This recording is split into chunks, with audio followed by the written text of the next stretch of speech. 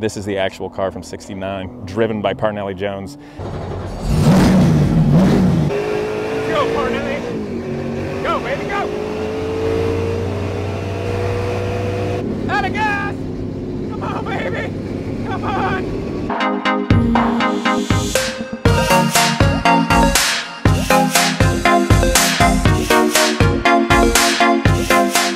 KW makes the perfect suspension for every demand. Find them in the description below. What's up, people? I am here today with this incredible Mustang. That is the actual 1969 Mustang of Parnelli Jones that he raced in that series. The just incredible battles that happened in this car against guys like Mark Donohue. It's just so incredible. I've always admired these cars, the way they look, the way they sound, watching them slide around the track. And today is my opportunity to go drive this. And we're doing this because upcoming November 11th through the 14th is the Velocity Invitational at Laguna Seca. It's going to be an incredible new vintage race. I think it's absolutely the future of vintage racing where it's going. And I'm so excited that here on YouTube I get to bring this experience to you today with the 360 degree camera. But guys, this is the actual car from 69, driven by Parnelli Jones. And damn it, I am so excited. Let's drive this thing. Guys, the 1969 Boss 302 Mustang of Parnelli Jones. This is the real car, the car that he was fighting for the championship with Mark Donohue. Absolute incredible piece of American racing history. Um, certainly a very valuable car. But today, I don't care about that. I don't care about car shows and concours and auctions. We're at a racetrack. I've got a racing suit on, and this is a racing car, and that's all that matters that we get to share it with you today and do this together. And that's that makes me so exciting. I am so excited. So this engine, they're telling me to shift at eight grand. That's insane. So I'm just thinking about all that. The pedals are laid out a little funny. I'm trying to figure out how I want to toe heel this. I might have to brake with my heel and bump with my toe. It's a little backwards than what I'm used to. But uh, let's give it a go. All right, we got. Here you go. Nutri, you got my power there? Yep, I got you. Thanks, sir. Deal. Oh, the. I forgot to tell you the. Yep, this the- here. Is that your, reverse lockout? Reverse lockout. Pull it up for reverse? Pull it up for reverse lockout. Got it. Thank you. Fuel.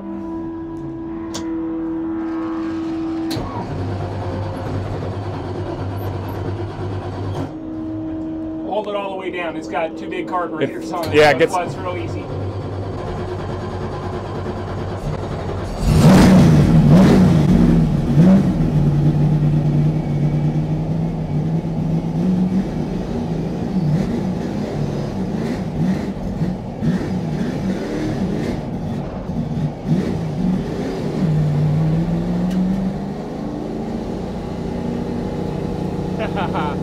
Holy mackerel! That's a clutch! that is a goddamn American racing clutch. Not the brand name. Just talking about it like spiritually speaking. Woo! Oh hell yes. Oh man.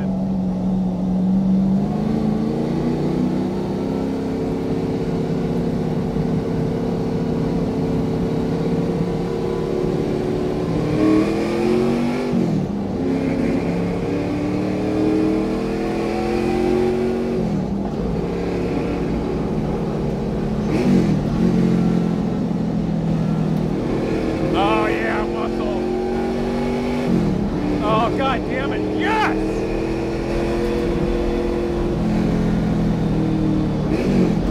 Oh yes! Oh, this is my kind of car.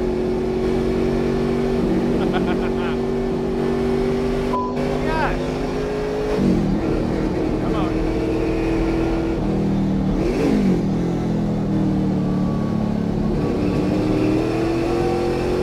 Oh yeah! Oh yes!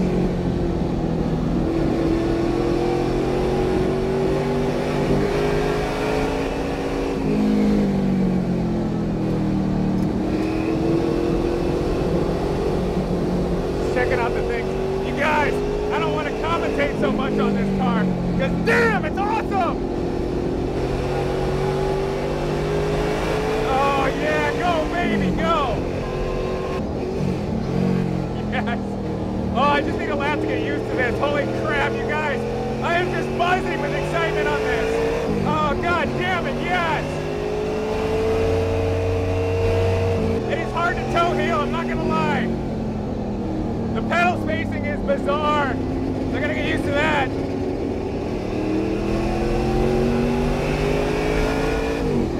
All right, come on, Casey, pay attention.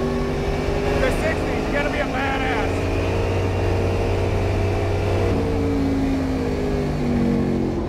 There you go, now I can toe heel. Gotta get your foot way up there.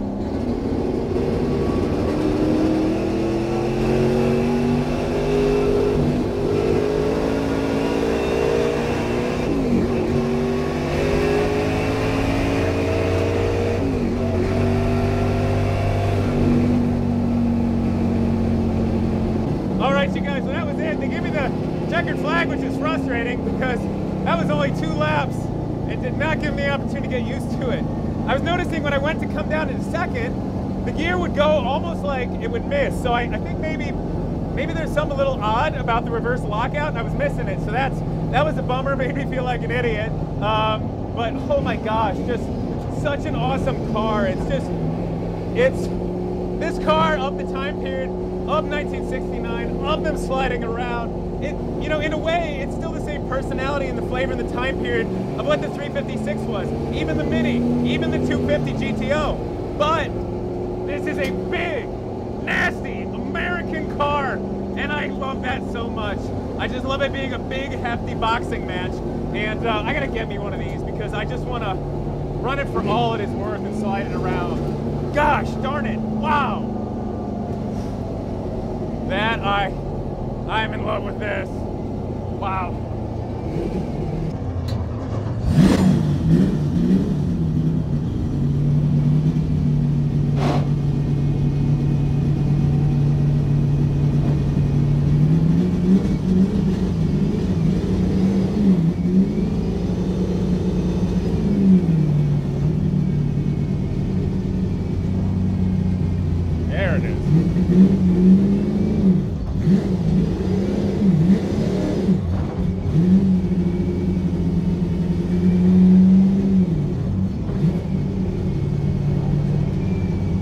is a man's clutch, I tell you what.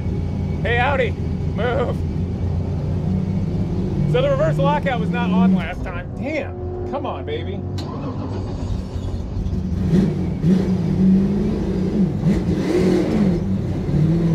Wow. That's a freaking clutch. Holy crap, you guys. Damn. All right, so we're gonna have fun with the minis, and I'm gonna be a very good boy and not squish them. and they're not gonna be very good boys, and they're gonna show me what's up.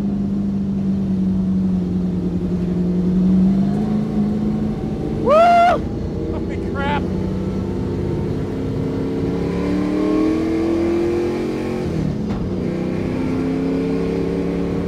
Oh god damn it, I love this so much.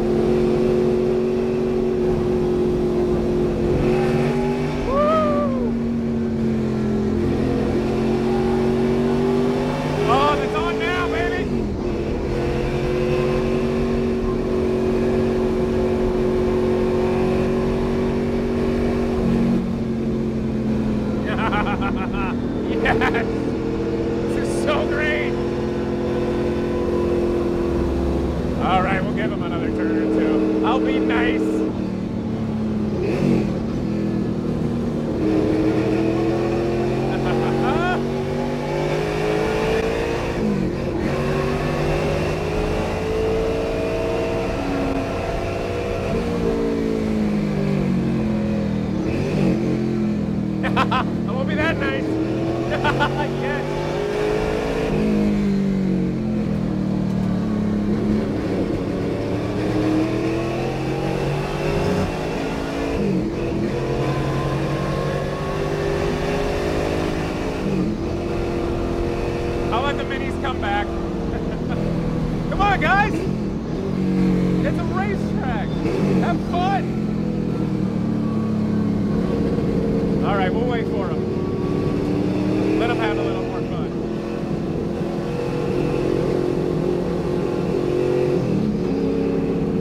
guys. Where are you going?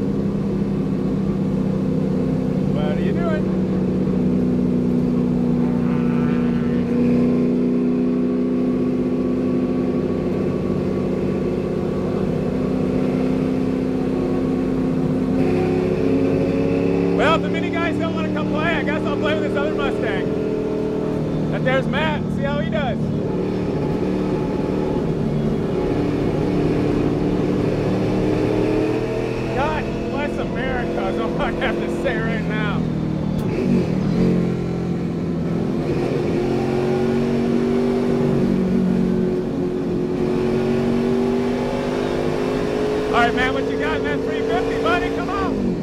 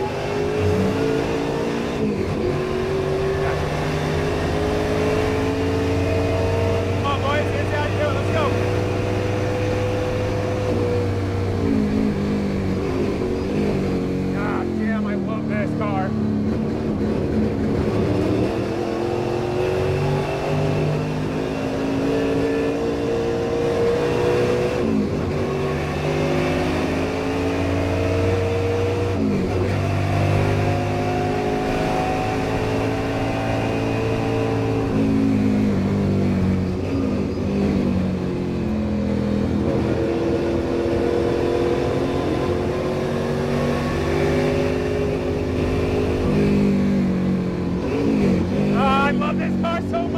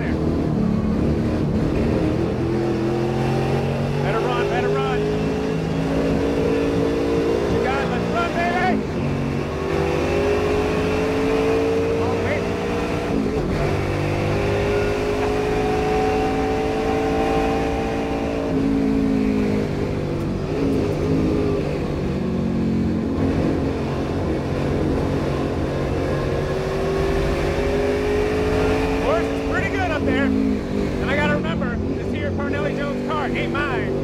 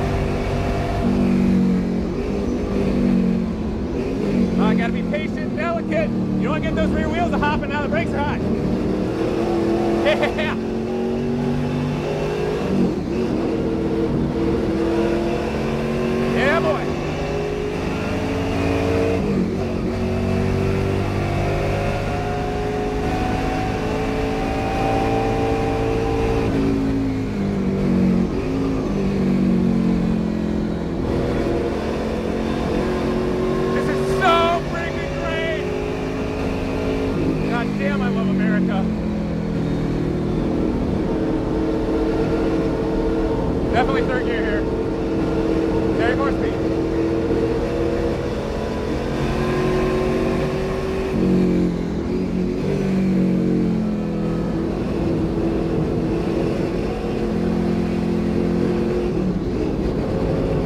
It's getting grumpy.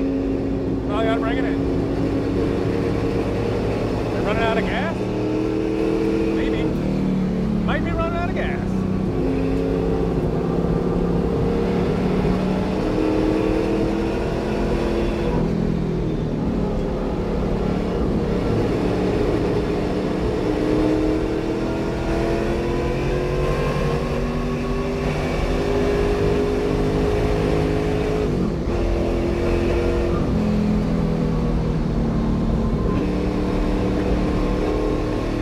It's a little flat. I'm gonna baby and bring it in. Oh, we got like no fuel. Shit. That's a problem. I am out of gas.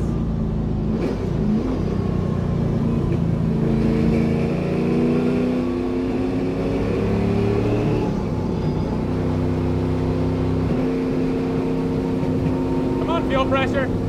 Come on. There, I got fuel pressure now.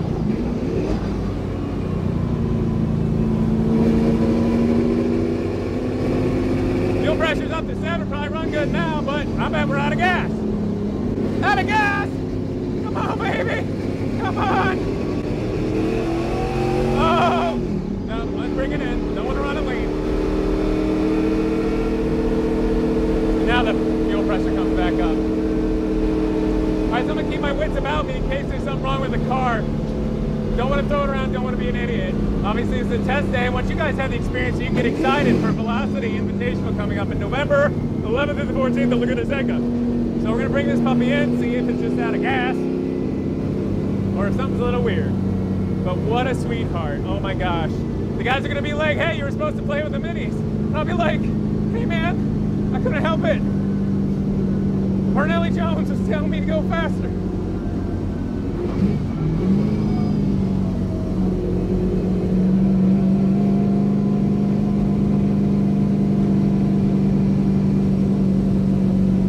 All right, guys, so water temp's good. It's under 200. Oil temp's like 230. Of course, let it cool down a little bit. Right now, cruising about 3,700 RPMs. We got 55 oil pressure, and uh, fuel pressure was about seven. Now it's five, four and a half, four. Now it's five, five and a half, six. That's weird. Must be running out of gas. Anyway, oh my gosh, what an incredible, incredible car. They're gonna be mad at me because I didn't play with the minis. I couldn't help it. I couldn't help it. The minis wouldn't play with me. I had to go faster.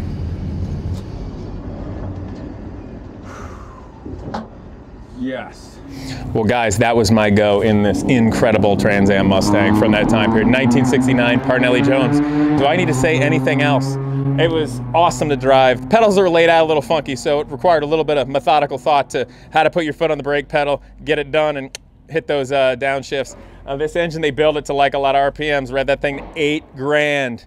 8,000 RPMs, 1969 carbureted. That thing was wild. First time we took it out, I was backwards on how to do the reverse lockout, and there was no reverse lockout. So sometimes I come over to second, and there'd be no gear there. So that was the difficulty I had, but we figured that out quick. Um, and it was sweet. One of the things that was the most fun about driving this was uh, it's got discs on the front, drums in the rear.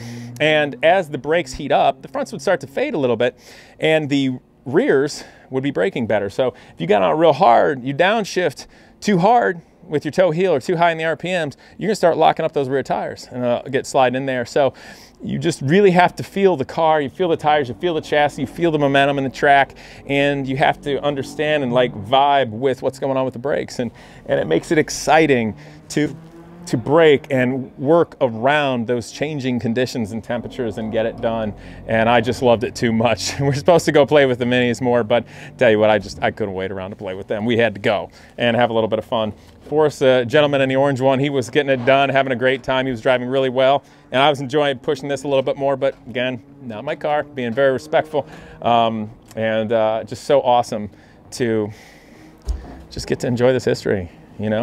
And that's what you're gonna see at Velocity Invitational Laguna Seca coming up November 11th through the 14th. So I hope you guys are gonna enjoy that vintage race. I think it's hugely a future of vintage racing. They're even having a cycle kart event there, I believe, which I'm gonna take a little credit for suggesting that. Really neat. Guys are running go-karts. They're basically like little scale pre-war front engine race cars. So just a lot of fun for the whole family. And um, just what a great experience today being part of history you know?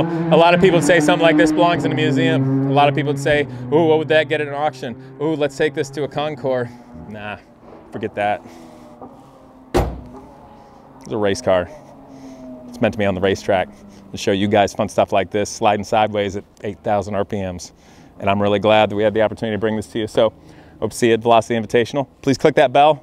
Of course subscribe and I'll bring you some more cool stuff. See you guys next time. Well, there's only one racing suit I've always dreamed of owning, and that's a Hinchman. Since 1925, Hinchman Racing Uniforms has been supplying suits to drivers ranging from Dale Earnhardt, Mario Andretti, and even Steve McQueen in the movie Le Mans. So guys, when it's time to go racing and you guys want to be safe and look amazing, let's go classic American. Get yourself a Hinchman.